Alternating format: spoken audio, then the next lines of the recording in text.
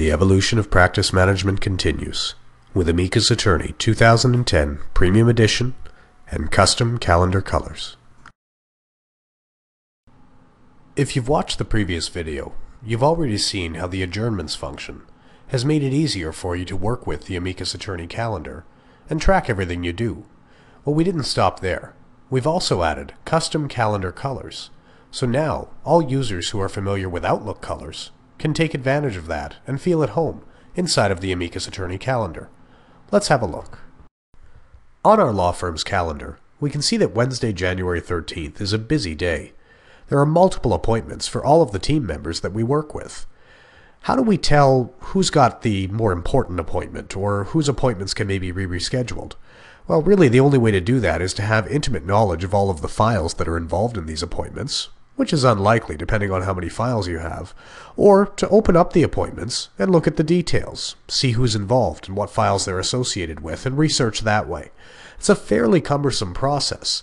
So, as much as we have access to all of the appointments and we can see what's happening everywhere, it's very difficult visually to determine which appointments need to take priority over others. Well, enter calendar colors.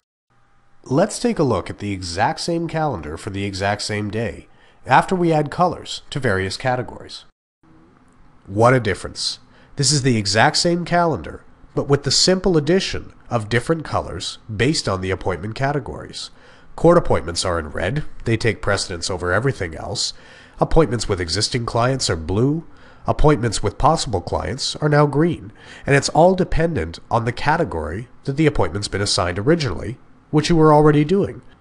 And all you have to do to take advantage of this is take a few minutes and assign the colors that you want to the various appointment categories that you use inside your firm. Let me show you how that's done. Let's take this interview here with a possible new client.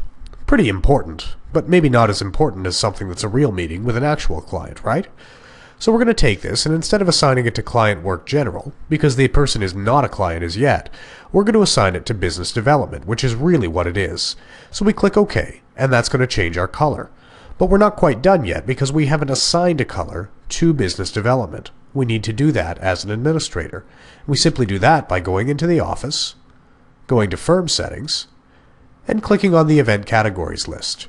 All we have to do is find the category that we want to change, in this case Business Development, which is currently unassigned, click on Edit, and apply any category color that we like.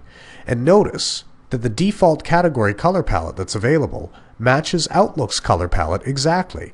So if you have a business development category in Outlook that's the same as your business development category in Amicus, your colors can be the same as well. Let's go ahead and assign this one this purplish color here.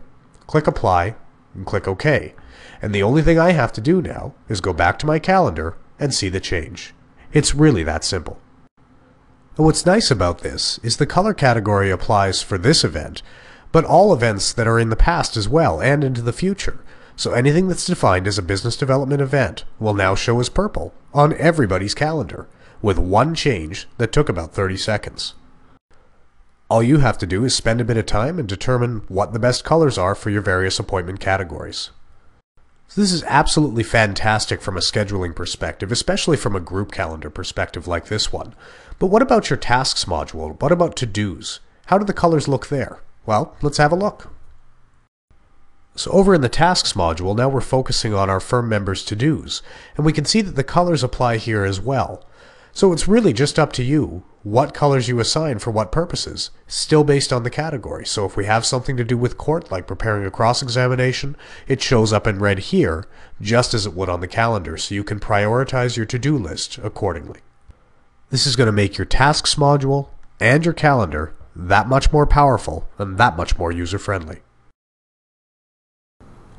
Thank you for watching. To find out more, or for a personalized demo, please visit www.amicusattorney.com or call 1 800 472 2289.